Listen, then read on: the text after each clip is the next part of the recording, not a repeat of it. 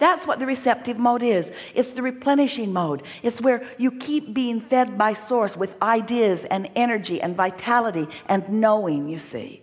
You cannot get to where you want to be in a, only an action oriented way. You've got to enlist the knowledge of your inner being the energy of this source energy.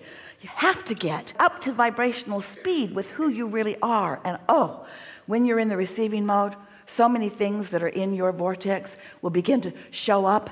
Some moments will be full. They'll be laden with three or four or five or 20 or maybe even more simultaneous things that are satisfying all happening at the same time. Can you imagine that? Can you sense that coming for you